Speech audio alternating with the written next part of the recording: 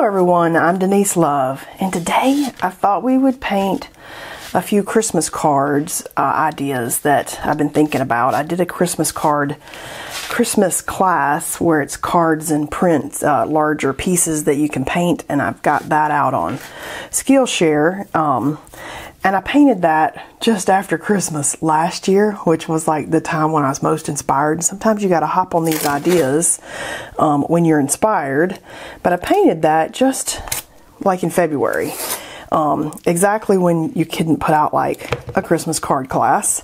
And then I waited most of the year to put it out. And then it came out like a month or so ago, maybe two months ago now. Um, giving you know, like plenty of time to then paint some Christmas cards or Christmas holiday things that you could frame and hang in your house, and it could be part of your holiday decorations.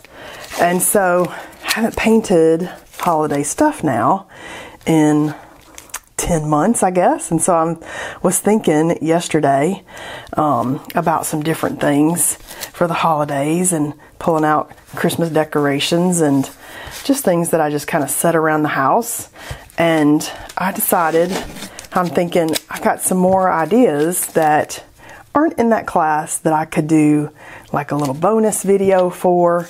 And then put it out on YouTube too so you guys could enjoy it. And so that's kind of what I was thinking yesterday. And so this morning, I was like, okay, let's go paint a few trees. And so in this collection, I'm just going to paint off um, a set of trees. And I'm painting these on watercolor Strathmore cards, um, which is 140 pound cold press cards, I believe. And I like these because they come with envelopes. And because I'm painting this in the week or so in the next couple days that I might actually make my Christmas cards for people to, or address them and send them, get them to the post office. I'm like, now, now is the moment to paint these so that a few people may be getting one of these. You never know.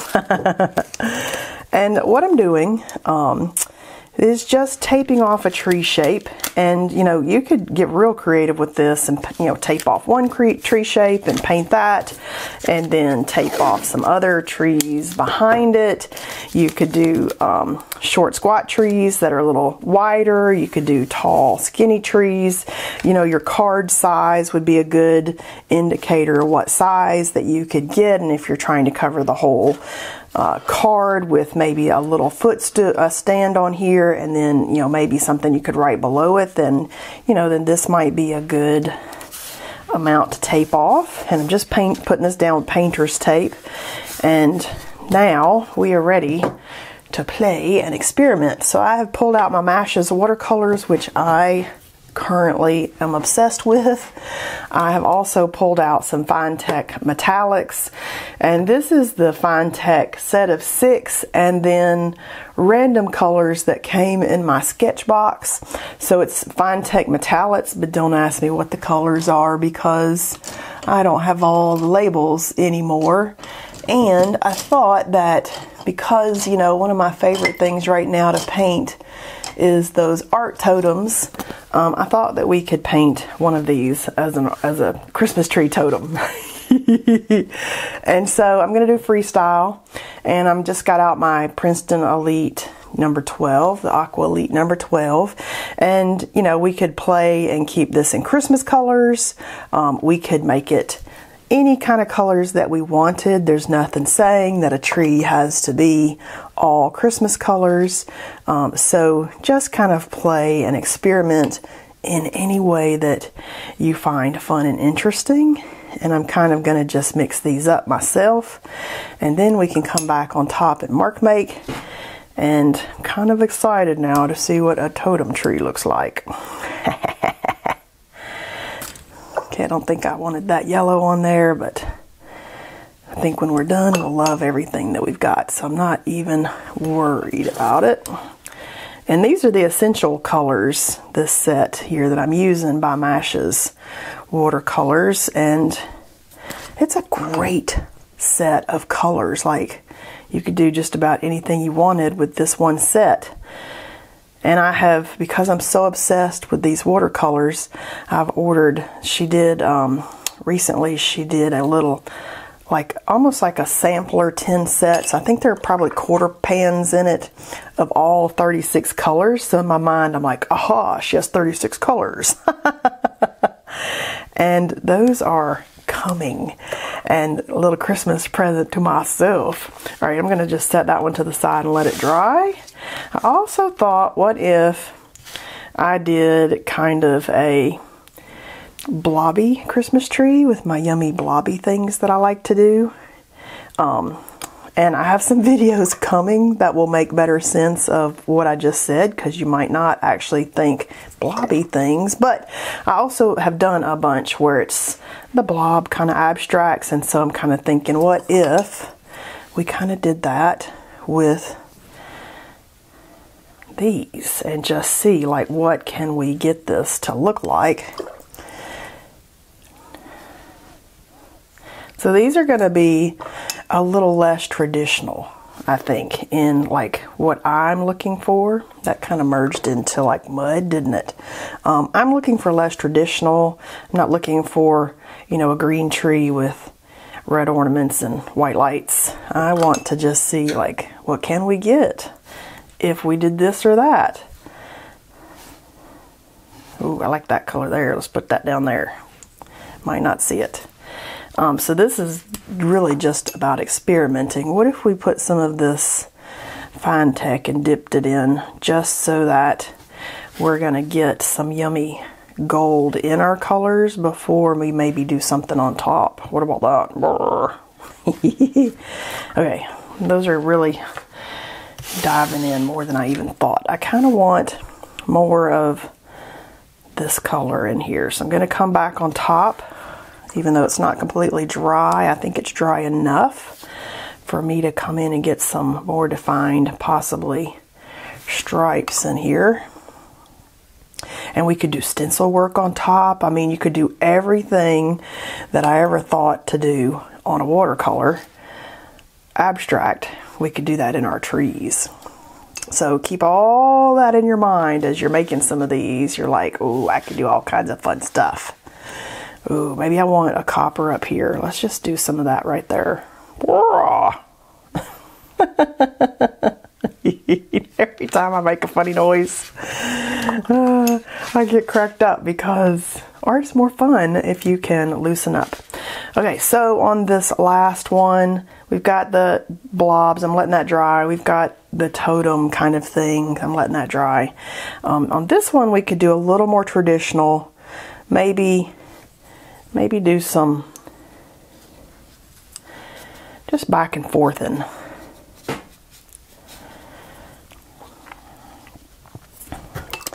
and I probably could have done that with a green couldn't I? That's okay.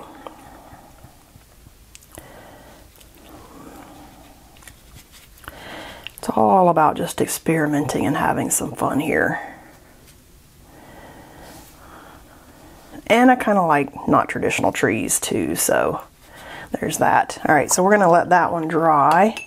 And then I wanna come back and decorate some of these.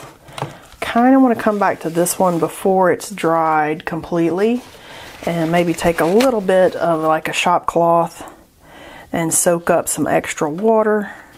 And then I might look at this and think, does it need anything in here? Do we want some texture? Oh, how about some texture? Oh, let's do that. Let's just take this thing and see how much fun you can have if you just start making noises. Oh my gosh. I know I'm a nut. You know you love it. and oh, oh my goodness. All right, so I kind of want there to be some more of some other colors in here, maybe that I can, let's just see. Because these kind of softened a little bit. And I might want it more vivid just playing, experimenting. There's no right or wrong with these. We're just trying to fill the triangle. Oh, yeah, see, I'm liking that. Whoa. Okay. So I'm going to let these dry, and then we're going to come back and do some decorating. So I'll be back. All right, we are dry. And that didn't take too long. I just kind of picked up my phone and started playing on my phone. Um, okay, so this is the one where we swish the color on. This is the blobby one that didn't really end up being a blob. This was the art totem one. So I'm kind of thinking that, let me set this to the side, we could do any of our techniques that we love so much. Um, so I can draw on this with Posca pens, which is always a favorite thing to do. Um, see if I got that started. We could also do the gold ink.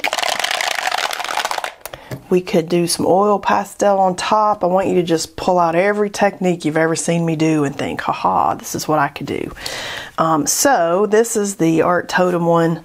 We could keep it in stripes. We could just ignore that it has stripes now that it's all over the place. We can doodle, we can have some fun. We can put some ornaments like traditional tree if we want. We could do some drawn ornaments. We could do, I've just got so many ideas. We could do stencil on top. I'm kind of almost thinking tiny bit of stenciling. Let's just do it. Let's just be brave. I could do this in the gold. Ooh, okay, I was totally going to do it in this pretty so flat pink.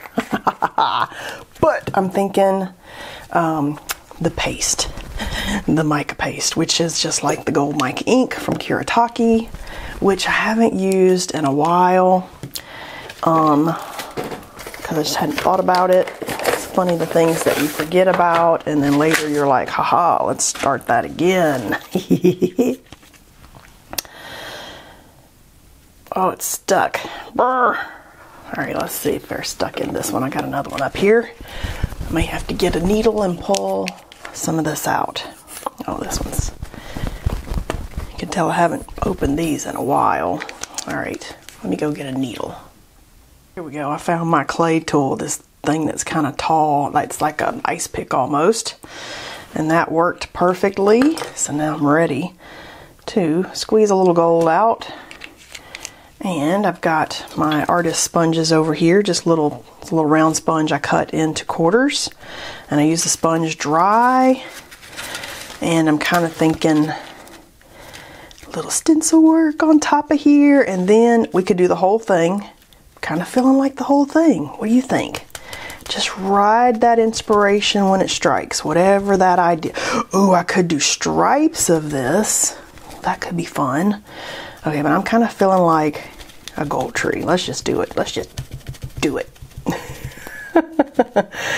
I didn't have a set thing in mind. I had like kind of an idea and then thought, you know, just whatever I'm inspired to do as I'm painting, that's where we'll go.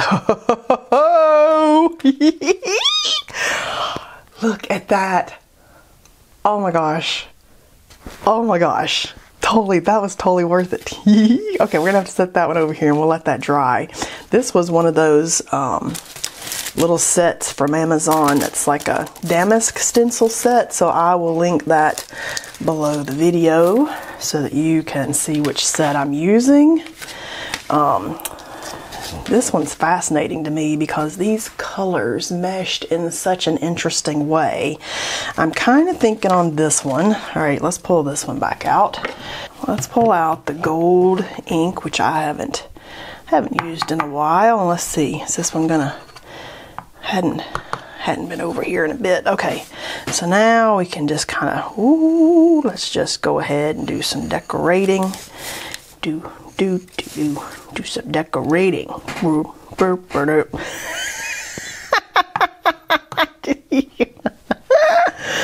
oh my gosh. Look at that. Let's just do that right there. Oh! Oh my gosh.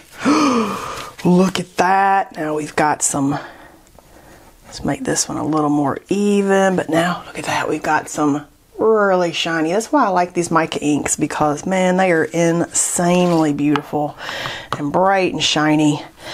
And I'm kind of feeling like, should we do gold ornaments or maybe just some gold dots in here? Um, hmm. All right, let's think about it. All right, dots it is. I'm feeling dots. Could be like little sparkly lights almost as the light hits it. totally feeling that. Totally, totally. Oh my gosh, these have already made me a happy camper at my paint day. Let me tell you, I used to not be a happy camper at my paint table. I used to be angry. I'd sit down, I'd want to paint some masterpiece. I didn't know what that was going to be. And then it never magically appeared on my paper. And I'd be so mad that I'd be like, I can't paint why do I even have a creative business? Why do I even try to sit at this paint table and do anything? And I that would like ruin my mood for days.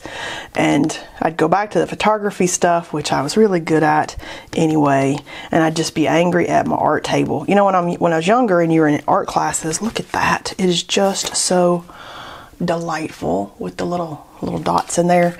Um, you know, when you're when you're art school and stuff, and they give you assignments, you know, you you never are at a loss of something to do because somebody gave you an assignment, which is why I like doing videos with you guys with challenges and stuff because I'm giving you some assignments and you can show up to your art table and do some painting with me um, rather than being a grumpy camper at your table.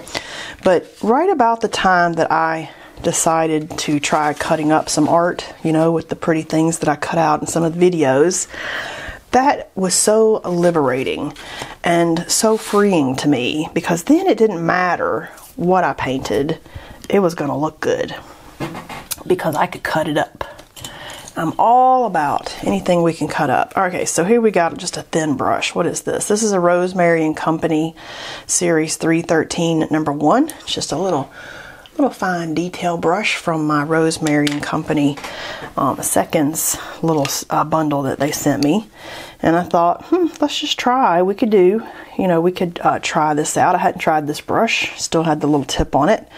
But we could give these a try out and just see how do we like the brush and maybe just paint in some metallics here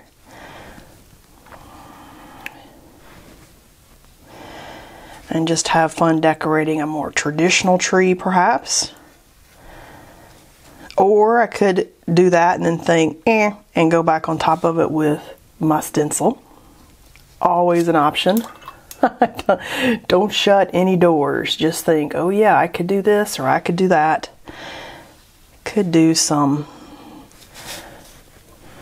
Thought I had water on that. Could try. Okay, I'm just not liking where I'm going with this actually.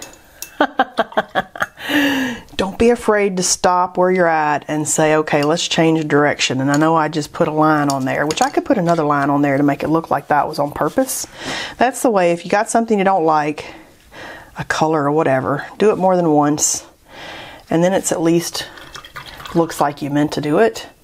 But I'm loving these other ones so much that I'm like, what else could I do that I would like better? Maybe we could do oil pastel instead because you know I love the oil pastels.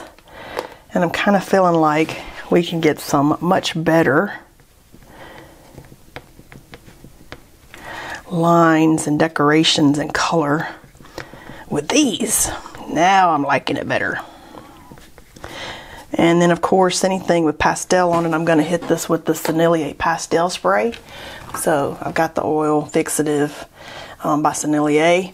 And if I was using soft pastels, I'd use the soft pastel fixative. And those I just keep right here um, at my table. And then I can just run outside and do whatever I need to do with those. Now, if you're using oil pastels, that is your last line of whatever you could do on here. You can't put stuff on top of that really, unless you get it fixed really good, and then maybe you could. But for let's just say rule of thumb, not generally to put stuff on top of that. Let's see. Let's do this yellow. It's kind of like a. This might be my least favorite, but it's always fun to experiment. Don't don't say you know, nay quite yet. But those two, that that one, this one might be my very favorite with the uh, with the little stenciling on there. But you never know. Surprise yourself. That's why I like doing lots of trees at the same time. Every tree could be different. Okay, I'm loving that. Okay, let's just see what. Let's just see what we got. Let's let's come. Let's let that one sit for a second. All right, so I'm gonna peel the tape got gold down there, but that's okay. Oh, I love peeling tape. Oh, look at that. look at that. And let me tell you, what would be really cool is maybe some gold splatter and we need our little base there. So we could do a base in gold or I could do a base in watercolor, but why not? Let's just do the base in gold. So let's get some of that gold out there.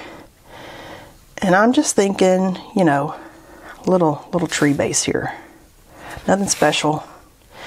And if you like to write things, you might put, you know, across the bottom a sentiment a holiday greeting, Merry Christmas, whatever it is that you want to put down there. Happy holidays. Look at that. That's what I wanted. And I'm thinking, I'm thinking some splatter. So let's grab our Raphael Zero soft aqua brush. I'm going to get some water on that. And I'm kind of thinking that I'm going to dip it down in here.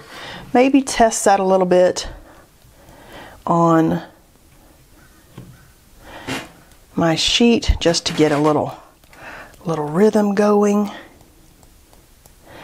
and just tap some gold little holiday sparkle there look at that oh that is like the perfect tree okay so that's a win. All right, let's put that one over here to the side. Let me let that dry. I don't want to get stuff all over it, so I'm going to set it a little further away. all right, we may get gold sparkle on all of these now that that turned out so good. and I did, you know, try to let these dry naturally rather than with a heat gun because I didn't want the watercolor to possibly go up under my tape because the heat gun releases that tape. Now I don't know what this is, but I'm going to see. Okay, we'll cover that with gold. It's a little speck of watercolor, I think. Okay, so let's do a base. Now we could we could think on this one, maybe I want a watercolor base. And so we could just take a little bit of watercolor, maybe, in whatever color you liked, and just come back and do a base over here.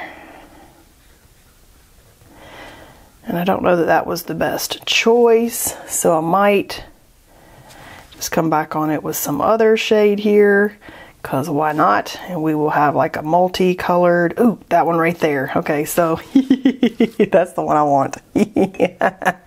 just, it's all about experimenting. Don't be afraid to experiment. We will get there. Okay, a little bit of gold sparkle. Whew. Oh, look at that.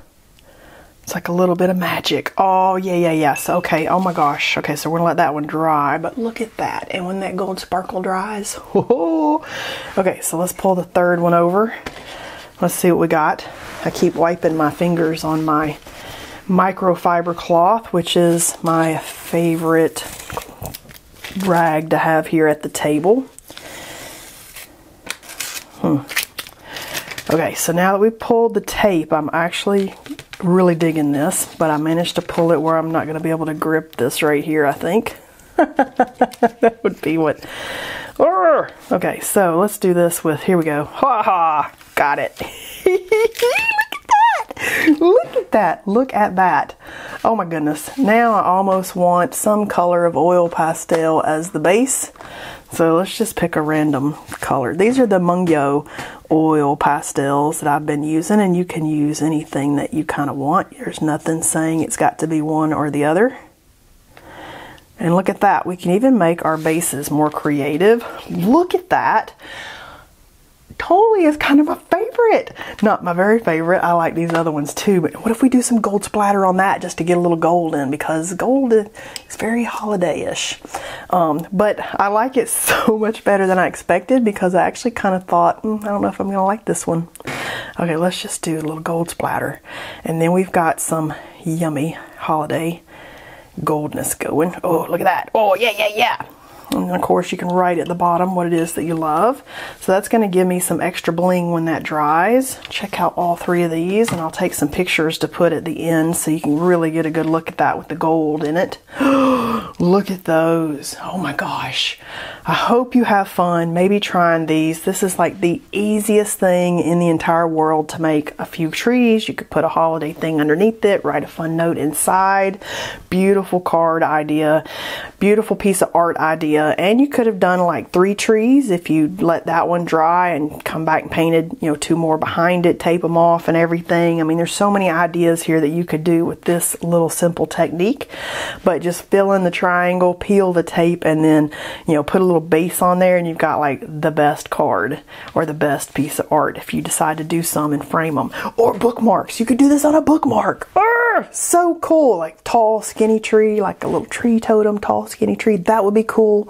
Definitely just let your ideas flow with this. Hope you enjoyed painting with me today and I'll see you next time.